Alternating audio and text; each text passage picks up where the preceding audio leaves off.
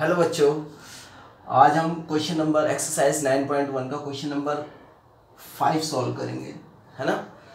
और सारे क्वेश्चन सभी बोर्ड में एप्लीकेबल हैं हाइट एंड डिस्टेंस के, है ना? और बेसिकली मेरे बारे में पूछा जाता है तो मैं बताता हूँ कि मैं उत्तराखंड से हूँ, है ना? उत्तराखंड बोर्ड के जितने भी स्टूडेंट मुझे देख रहे हैं, उनके लिए भी एप्लीकेबल है, ठीक है? देखिए यारो, देखना पड़छ है ना? ओके क्वेश्चन करते हैं हम। ओके क्वेश्चन नंबर फाइव एक बार रीड आउट कर लेता हूँ मैं। CBSE board Uttarakhand board all the boards यार। टेक्निक कॉन्सेप्ट सेम है। कहीं से भी आप क्वेश्चन किसी भी बोर्ड से क्वेश्चन उठाएँगे क्वेश्चन सेम मिलेगा। Okay a kite is flying at a height of 60 metre 60 metre above the ground and the string attached to the kite is temporarily tied to a point of a ground. ये string है।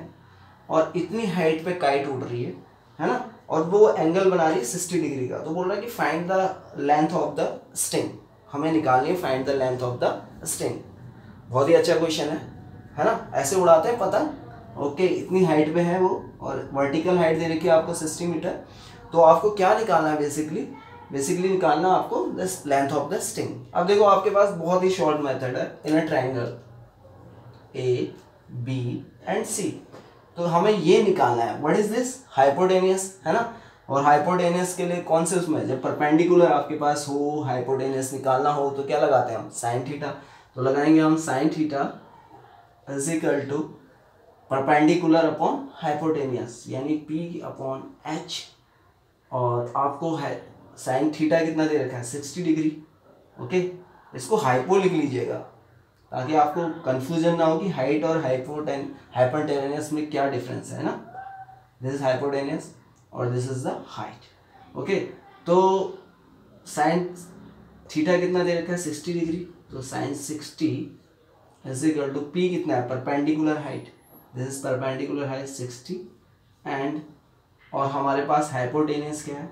A C A C is the hypotenuse sixty degree sine sixty कितना होता है इसकी value? Root three by two right value please याद कर लीजिएगा। Sixty upon A C तो A C is equal to क्या हो जाएगा बच्चों? क्रॉस मल्टीप्लाई कीजिए। Root three A C is equal to one twenty ये से इंटू हो गया।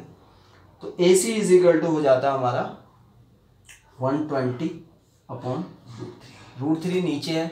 और मैंने पहले भी बोला, जब भी रूट नीचे आए, उसको रेशनाइज कीजिए। तो इक्वल टू कितना हो जाएगा? One twenty into root three upon root three into root three root three से रूट थ्री मल्टीप्लाई होगा। तो हमारे पास क्या आएगी value one twenty root three upon three three से कैंसिल आउट हो जाएगा।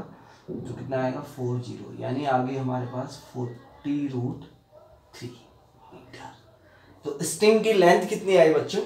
Length length of the string of किसकी? काइट की. इज़ इक्वल टू आ गया forty root three metre this will your final answer है ना? और प्लीज़ प्रैक्टिस एट होम और कब तक करेंगे? बोलने की ज़रूरत है ही नहीं. है ना? फील कीजिए क्वेश्चन को. फील करना बहुत ज़रूरी है। जब आप फील करेंगे, तभी मैथ मैथ के मास्टर बनेंगे, तभी आप क्वेश्चन में आग लगा पाएँगे। ओके तो ये होमवर्क है आपके लिए। क्वेश्चन जितने भी मैंने कराए हैं अभी तक 9.1 के, उसको रिवाइज कीजिए। प्रैक्टिस एट होम है ना? ठीक है? Okay guys bye